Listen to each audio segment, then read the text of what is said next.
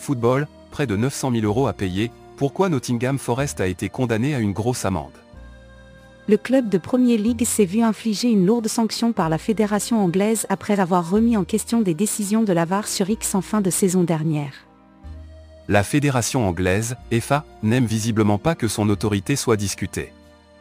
Nottingham Forest, club de Premier League, a été condamné ce vendredi à une amende de 896 000 euros, 750 000 livres, pour avoir critiqué l'arbitrage vidéo sur son compte X lors d'un match perdu contre Everton en avril dernier, a indiqué la Fédération anglaise de football.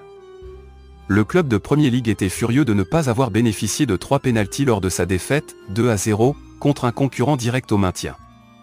Trois décisions extrêmement mauvaises, trois pénalties non accordées, que nous ne pouvons tout simplement pas accepter, avait écrit Forrest sur son compte X officiel, accusant le responsable de la VAR d'être un supporter de Luton, qui luttait aussi pour éviter la relégation. La fédération anglaise avait estimé que ces commentaires avaient jeté le discrédit sur le football en impliquant un parti pris et ou en mettant en doute l'intégrité des officiels de match, et avait saisi une commission de régulation.